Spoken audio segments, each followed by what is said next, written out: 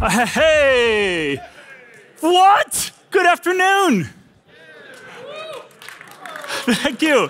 And we should clap. This is my first time uh, for a live event in, in the tech field since, since, well, the before times. Uh, fantastic. And what a fantastic venue and opportunity to be here for the VMUG Netherlands. Uh, it's, it's always been a big event. Uh, it's, a, it's a good crowd here. I spent a lot of time in the Netherlands over the years, and I'm very, very excited to be here at this show because the topic of today's show, the theme, is about AI, right? And I thought, huh, well, when I think about AI, I feel like a lot of people are doing really cool stuff with it, but those are other people. Those aren't me. I feel like the AI train has left the station, and I missed it. And all I hear is how important it is and the skills we need and how it's changing everything, and you got to work at it. And I'm like, I am so fucked because I missed the AI train. So, my name is Brian Madden, and I, uh, again, I'm so happy to be here, and thank you to the organizers for having the, for inviting me here. Uh, I actually work for nowadays. I work for a consulting company called Ilki. Uh, Ilki is a Paris-based company. I, I live in Paris. Uh, of course, I'm still wearing my old VMware uniform, as you can see. Um, but uh, I do live in Paris now, so you can see if it doesn't look like I'm French now. Ah, there we go. ah, so, d'accord. Euh, je suis dans l'informatique uh, technology depuis 30 ans. Uh, sorry, it, that happens when you put the scarf on. Uh, but I've been in IT for, for 30 years. 30 years. May 1994 is when I took money to touch someone else's computer for the first time. Uh, Lantastic, by the way. uh, so I've been in IT for 30 years. I've had just an insanely rewarding career. And I'm here today to stand on stage and tell you that I have absolutely no idea what I'm doing. I'm, I'm, I'm, I'm wide open in the bright lights, haven't had a clue.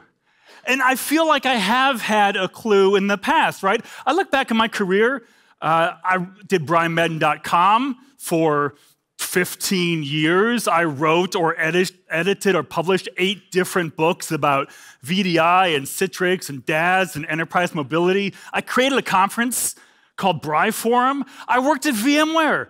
I worked for Shawn Bass in the EUC office of the CTO. I, I worked with this really tall, bearded, orange beard guy and drew on the glass. We had to learn how to write backwards. It was fantastic. I did a lot of things there. I, I actually wrote, I left VMware a couple years ago, and I wrote that I was leaving to work at a pinball company, uh, like the actual ball you move around with the flippers.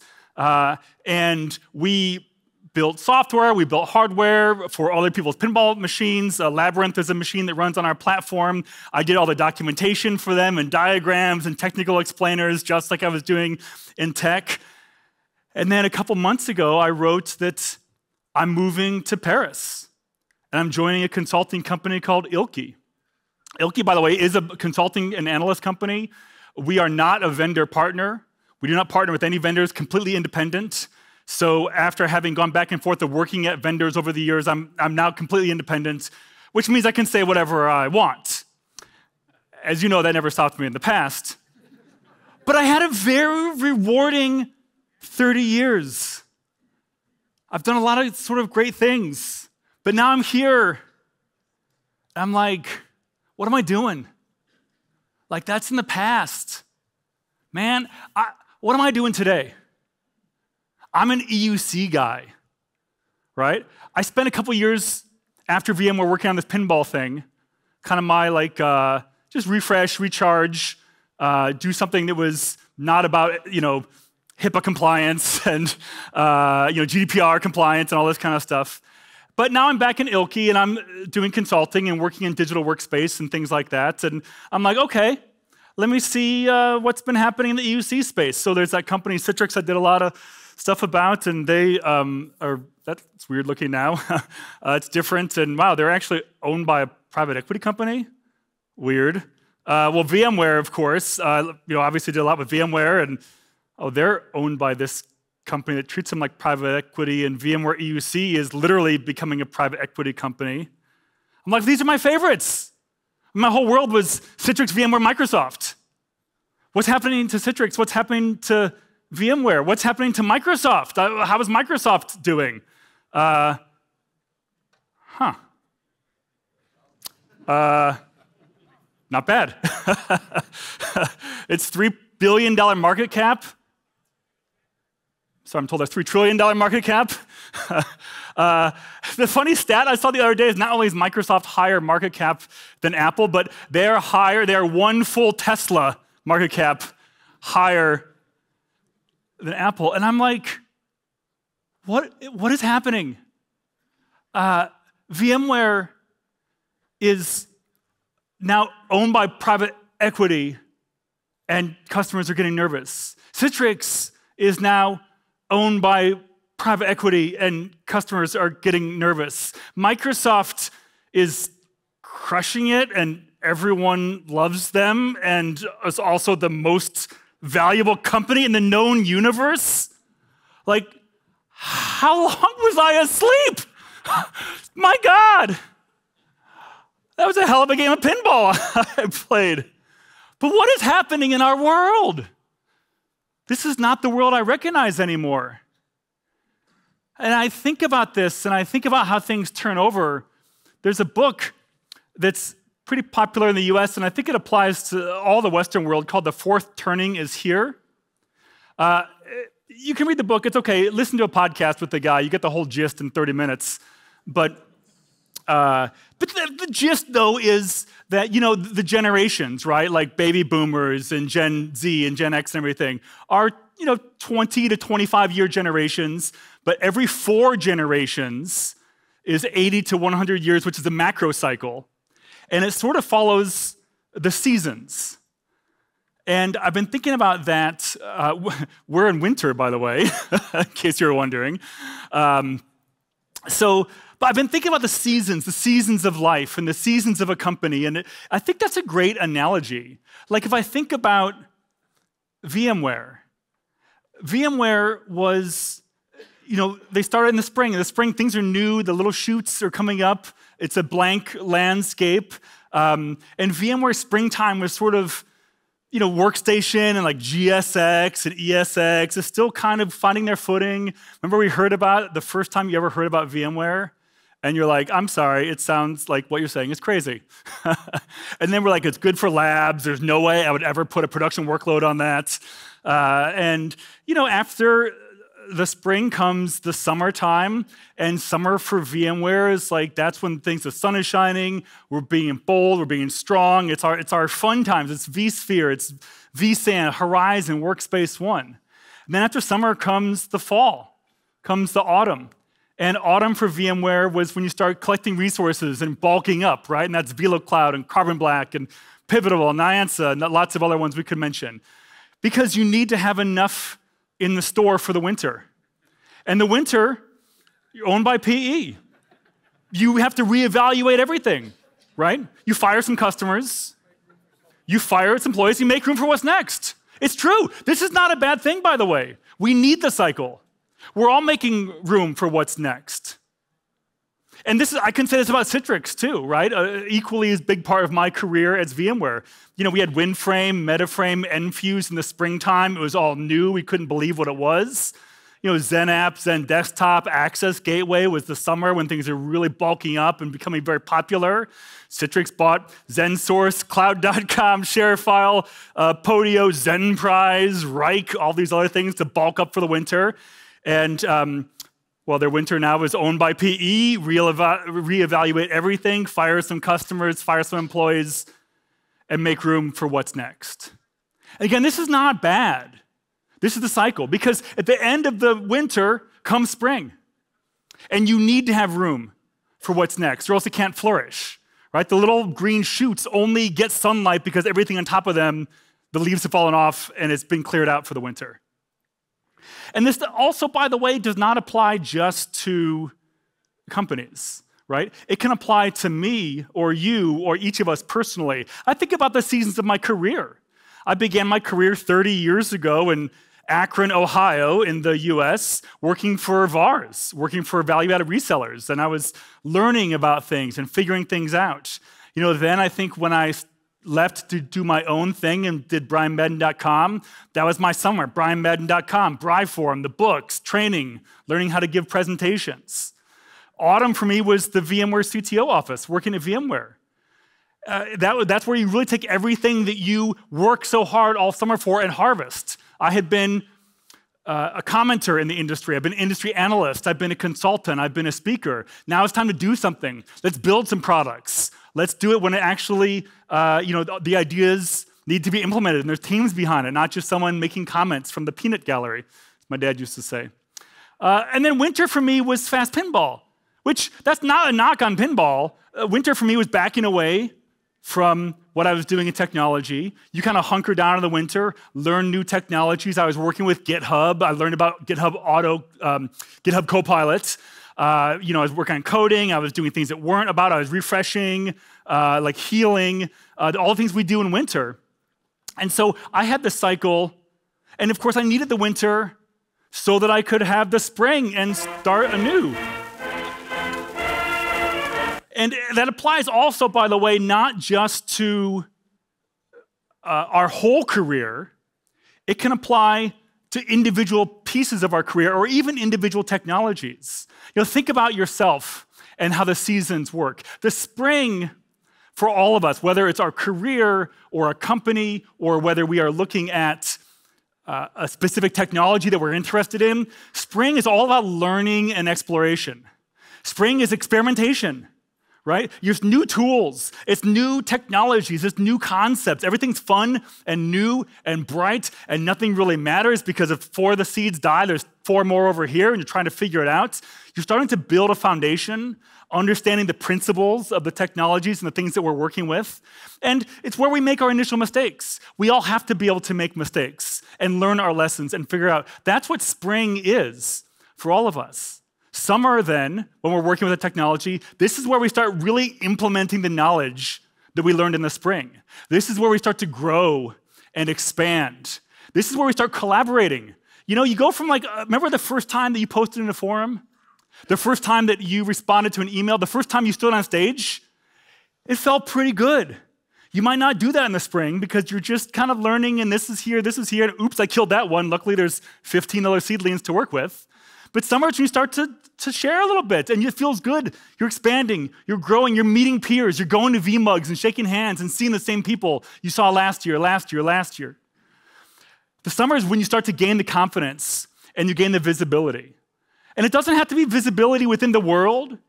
It doesn't even have to be visibility within the VMUG. It can be visibility within your company, within your friends, within your peer groups. Like, no, this guy actually knows some things. And then we get into autumn. And again, we think of autumn as like dying and everything's falling away, but that's the end of autumn. Autumn is really reaping the benefits, it's the harvest time. Now in autumn, you start leading major initiatives, you start leading major projects in this technology, you start mentoring people. You start really sharing the knowledge you built up in the summer. You, you really just refine all these things you've been learning. You optimize, you refine all the processes and the methods. And you start to get recognized as an expert. Again, doesn't have to be on the global stage, doesn't have to be on the VMUG stage. It could be within your department, within your company, within your friends. Autumn is the real time to sort of start to really benefit from all the work you've been doing. And then that leads us into winter. Winter is about reflection, right? This is where we, we reflect on our achievements. We reflect on what's phasing out. What have we been doing those past few seasons that is not relevant as much anymore? We're planning for the future. What am I going to do next year? There's a reason the new year starts our calendar in the winter. I plan for what's next year. I, I plan for, for what's changed. I, I start to let go of things that are outdated, the outdated technologies, the outdated practices, and I make space for growth and innovation. And then, of course, that leads us into spring. Look at the slide here, by the way. Like, this is what happens if you let uh, Microsoft Copilot design your slides. I'm kidding, I did this myself, but I'm only seeing it now for the first time. um, but it's, it's a cycle, you know? And if I take a technology, I'll take Citrix, and I can say, you know, the, the, the Citrix technology for me, it might go through its spring phase, its summer phase, its autumn phase, and its winter phase. That might not be the same phase with the company, right? This is your phases and what it means to you. And it's also happening with multiple technologies. It's Citrix, it's VMware, maybe it's cloud, maybe it's cubes. I, don't read into the words and the, the, the, cycles here. I'm just saying all of us has a lot of different technologies in different seasons. While we're learning on one, it's summer, and the other, we're harvesting another one. This one's dead, I'm making space. So it just continues again and again and again. And this happens with all of us in all of our careers. I can look at my career myself 30 years I've been working now. So from 1994 to 2024, I began on the help desk. I was a PC tech. Novell NetWare was a thing for me. Desktop engineering, SMS, you know, SCCM, Citrix, ASPs, Blades, VMware, VDI, HCI, MDM, MAM, EMM, the consumerization of IT, digital workspace, and the future of work. Uh, you know, 30 years, you can cram a lot in there. But really, every one of these things, I was like way into. like, a lot, a lot. I read the books, I went to the conferences, I was in the, the, the um, newsrooms and the email lists. I was way into every single one of these. I'm not into all these anymore. Some of them have longer cycles, some have shorter cycles, some have sub cycles within them. Uh, they're all different, but I can look at this thing and say, okay, this is, this is the things that I've done, and they've had all these cycles of seasons. Remember, though, for me, I'm like trying to figure out what's next because, you know, it took a few years that my winter was my pinball time. And again, there's nothing, winter is important. There's nothing wrong with winter.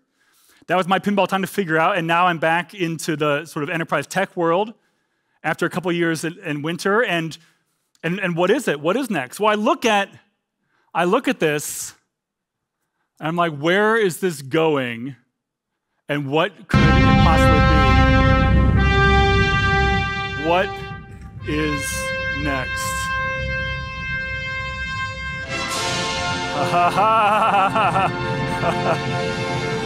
I think I got it. I've been doing some reading. I understand this is going to be a thing. Okay, I feel good. I feel great. I feel wonderful that I know what's next. I know what the future is. I know where I have to focus my efforts. I know what has to happen. And here we are. Oh. Wonderful. And it's good. It's, it's fantastic because I know AI.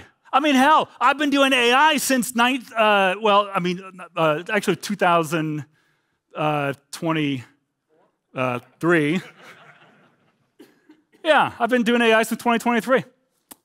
Uh, it's funny because you hear all these people, they're like, oh, now the AI is popular. I've been doing AI for 10 years, for 20 years, 30 years. And I'm like, I've been doing AI for 10 minutes. Uh, if you look at my life from you know 1977 to 2024, the percentage of my life of pre and post AI is about here, give or take. I'm, don't get me wrong. Uh, I know what AI was before, okay? Thank you very much. For sure, I understood AI in the world before. Like, I was a human who saw things, right? Like, I watched 2001 I watched Terminator. I watched her. You're all laughing. What? Computers that are too confusing for humans to understand, killer robots, sex bots. Tell me what else I need to know about AI. Of course, over time, uh, you know, we got the co-pilots. We started figuring out ChatGPT was released, and ChatGPT, huh? Okay. It came out in 2022. I didn't use it for the first few months, but by the time in 2023 I started playing with ChatGPT, I was like, ah, I get this. This is clearly the future. I'm here. So, as you can see, I know some things about the AI. The problem, of course, is uh, my modern present day AI is like this tiny little sliver. And I'm with all these people who've been doing AI for 10 years, for 20 years. They're making models and they're tuning and training and RAG something or other and merging and they've got GitHub accounts and doing all these things. And I'm like, yeah, I'm good at the chat GPT. I mean, I can use it. Uh, so it's scary to me. And I feel like I don't know what to do, but I think it's okay, right? Because it's springtime for AI. Not just for me, but it's springtime for AI. The technology cycle, the macro cycle for AI in the enterprise context is spring. Of course, even though it's spring and spring is the time that we are all learning and figuring things out, I feel like I'm already behind. Again, case in point, Johan's session today. but I'm like, it's okay. I've done this before. I've learned, you saw the list. I learned like 20 new things, 30 new things in my career. So I know what to do. I uh, will just run that same playbook that I've done for the past 30 years when I learn new technologies. So, off to the interwebs, where I get my glasses out because that's how I roll now. Artificial intelligence, thank you. And there are 1.4 million, billion, trillion, does it matter? uh, results. That's generic artificial intelligence. Let me do artificial intelligence learning and there are somehow even more. I think what happened is the AI content exponentially increased in between the span of my two searches. There's literally 200 million more resources in the 30 seconds it took me to get my thoughts collected. It's fine though, like Google, everything's tough now, SEO, yada yada. I'll just buy a book. I wrote books, y'all wrote books. That's how we learn things. You have to be smart to write a book. I go to Amazon, type in artificial intelligence, and there are 50,000 books for artificial intelligence. All right. Uh, I'll take one. so it's, it's tough because, like, how do you jump on? This is what I'm saying. I feel like the train left, and I'm just standing on the platform, kind of holding my bag. So, okay. If I can just like take a breath and collect myself a little bit. I feel like, what do we know? Like, let's break this down. Like, what do we actually know about what to do next and how to address those technologies? Well, we know how to learn. We've done this before. We've all learned, like, we're VMware experts, or cloud experts, the Microsoft experts. We've learned, we started from nothing, and we learned. So, okay, we know how to learn. I can look back on my journey and know there's all sorts of technologies I was really into, and I figured out. Um, we have to set a goal like everything, right? I spent a lot of years as a consultant. You set a goal and you work backwards from there. So my goal is like, I'm, I'm gonna be an AI, an AI expert, right? Because that, that's what that's next. So, um, huh, here's what I start coming across. Uh, yeah, I'll give you a minute. yeah, one of these quotes is mine. uh, yeah. So, like, kind of a panic attack again. like, what in the world do I do with this? How do I even understand what's happening here? You know, because for me, I'm even doing this, as I said, I live in Paris now. I say I'm currently learning about artificial intelligence. It's funny, um, as I'm worried about the train leaving without me, you know how you say I'm currently learning about artificial intelligence in French? you say, um, Je suis en train de d'apprendre l'intelligence artificielle. Like, literally, it tells you that you need to be on the train, which we have already established I am not. it's a little bit more of a panic attack. What am I doing? I say, well, okay, what do we know?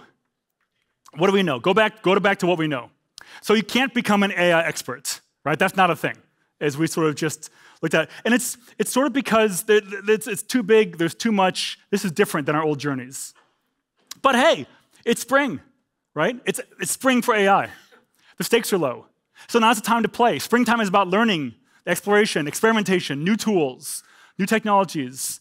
Build the foundation, start to understand the principles. We can make mistakes, we'll learn things. Uh, it's okay to mess up at this point. And which is kind of nice because honestly, as I play more with AI, which I've been doing for like a year now, thank you very much, uh, what you focus on actually doesn't matter. And this is a good thing. For example, do you remember how prompt engineering was going to be all the rage? You had to learn how to be a prompt engineer. Uh, there's job postings for prompt engineers. Prompt engineering went from the hottest new tech job to made obsolete by AI in six months, right? The AI auto fixes its prompts based on what you type. It figures out what you might want, and you don't have to be a prompt engineer anymore.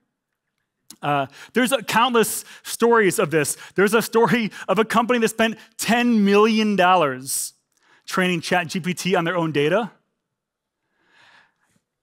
only to find when GPT-4 was released,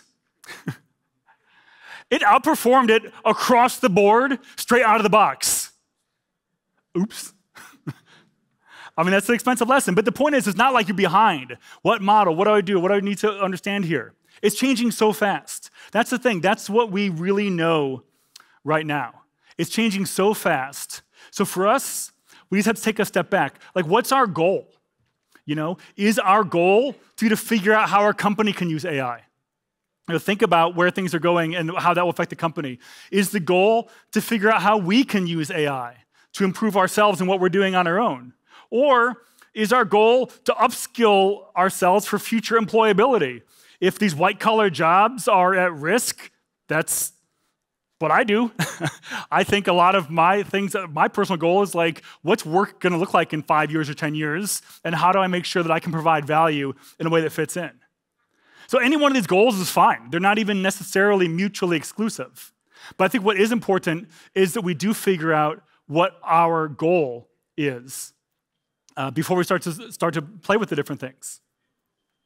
And then regardless of the goal, we have to keep in mind we're not going to become experts. This is not how it was with VMware, with Citrix, with Microsoft. In those days, we could actually get the book about VMware, we could get the book about Horizon, we could read all the instruction manuals, we could do a couple big projects, and you could be like legitimately an expert on Horizon. After you know, a few years of work, a few decades, you know all the underlying technologies. That's not a thing that exists in AI. So the first thing we have to do is really change our mindset. But it's okay because we don't have to know how something works in order to know that it's valuable. Uh, airplanes, I don't know how they work. I guess apparently mechanics don't either. uh, that's some of the stories going around. Talk to, talk to why was Chris late? Uh, so um, we don't have to know how it works to know it's valuable, right? Um, we don't have to know how something works to know how to use it, right? I'm good at a lot of things that I can do that I don't actually know how they work. That's different, though, than us from what we've been doing in the past. It's different than the way other technologies have, have uh, worked. Um, there's that quote where the easiest way to predict the future, you know the end of this quote, is to invent it. That's malarkey. the easiest way, inventing the future is very, very difficult. Uh, luckily, though, for me, I think the easiest way to invent the, predict the future is to think about what assumptions will be true. We know about uh, models will get better and better. We know about technology. We know how capitalism works. We know how the different uh, systems will kind of fit together. We know how human nature works. We know how companies work. So we can think about those and then think about what assumptions we have today that we know for sure are true. And then we can apply those uh, to the future and then work backwards from there. So, you know, the thing is today, of course, the hype around AI is following the same playbook that the hype around any technology follows. You know, I spent a lot of time at brianmadden.com and the books that I was doing, uh, kind of like de-hypifying what vendors are doing in the space. And in fact, that's what's happening. We're fully maximumed uh, in the AI world right now. Vendor shenanigans are maxed out. when it comes to AI. And again, this helps play into the feeling that we're all being left behind. Because we see all the things Microsoft is doing, we see all the things that the vendors are doing, we see all the things that the companies are doing, and you know, everything's on Hugging Face, and you go to Hugging Face, and you're like, "What is this even?" Uh, and everything is faster, faster, next, next, next, next, next. But I'm telling you, it's, it's, it's hype. AI is real, of course. The technology is real, but the hype around AI is 100x of what the reality is. So we're not as far behind as we thought we were because a lot of things that we're seeing are sort of nonsense. And that's good because we've been dealing with vendor nonsense our whole careers. In fact, um, we have Maximus awesomeness uh, from vendor slides right now. You know, the, you, you see vendors talk, and they talk about these things. You're like, that is amazing and exactly what I want. And you start to think about it, and you're like, well, actually, uh, yeah, this is actually nonsense. Uh, I'll show you like uh, these are slides from like real AI shows I've been to. I blacked out the vendor logos. Um, you know, but by the way, these two slides, this is true. Two different conferences. The slide that had the most like arms up taking photos, um, and I took a photo just because I was like, wow, look at all these people taking pictures of these slides. And later on, I'm like, what does this actually say? Like it's nothing. this Real world data is power. Don't tr- the tech is mind blowing, but not limitless. It'll create value, not everywhere. Costs can rapidly skyrocket if you don't pay attention. This is all true. But that applies to like, I don't know, the cloud and your Microsoft licensing and like literally everything else in, in the business world that we've been applying. And the number of arms up taking pictures, it was nonsense. Um, I've started writing about this more on LinkedIn, by the way. Uh, so that's where I'm like, I guess, blogging now, for lack of a better word, uh, is just on, on LinkedIn.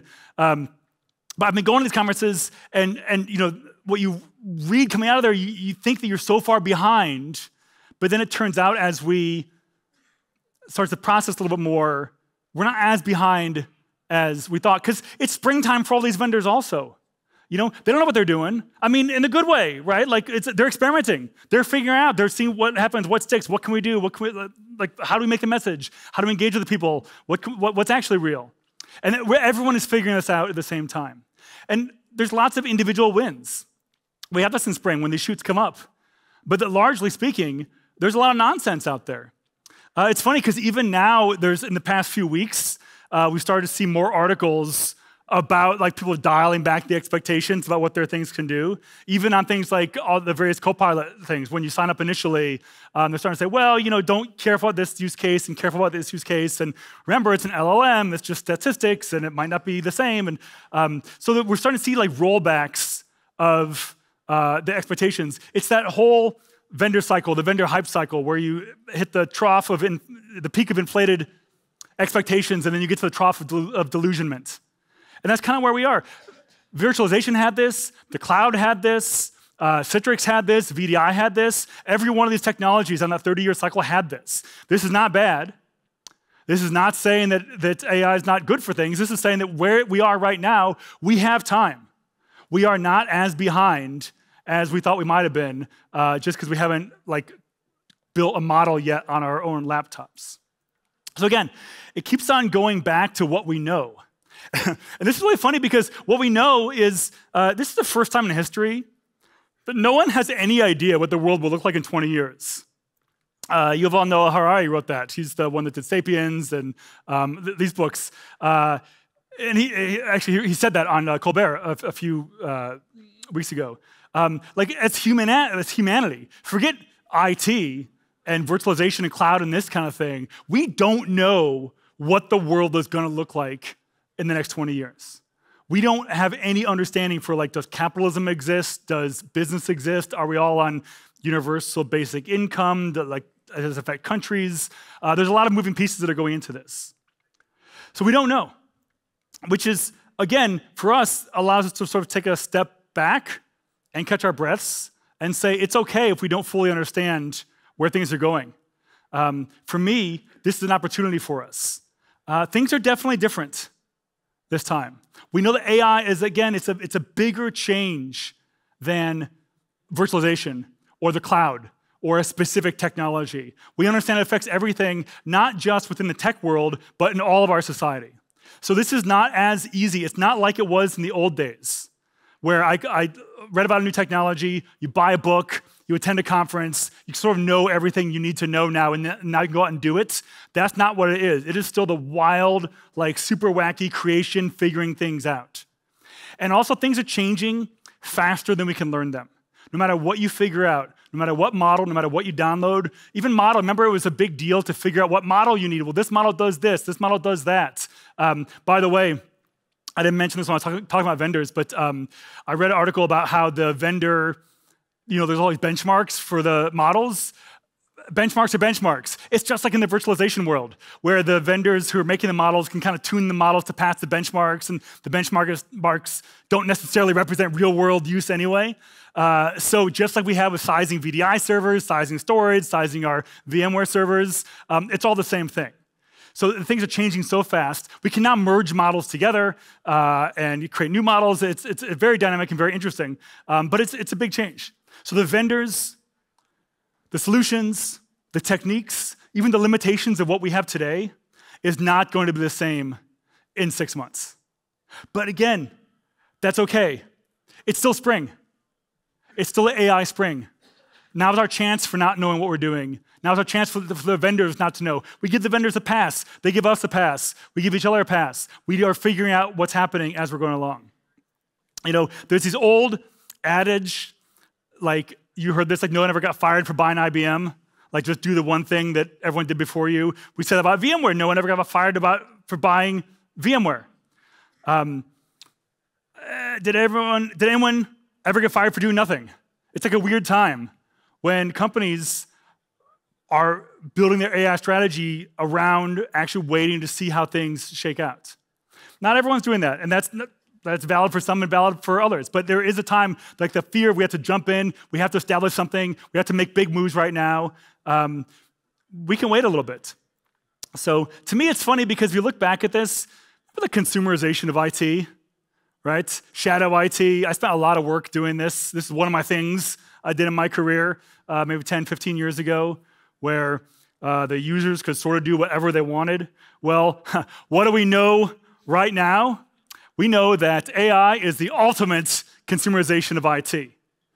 Uh, because, because AI is the ultimate consumerization of, of IT, every company out there is an early adopter uh, for AI. Even if they're not doing it at the company level, uh, their employees are doing it. So a lot of companies are very leading edge and experimenting and competing with getting AI advantage without their knowledge at all. Uh, there's a, a, great article uh, that I uh, just read, and I'll, I'll give the resources at the end, about detecting the secret cyborgs.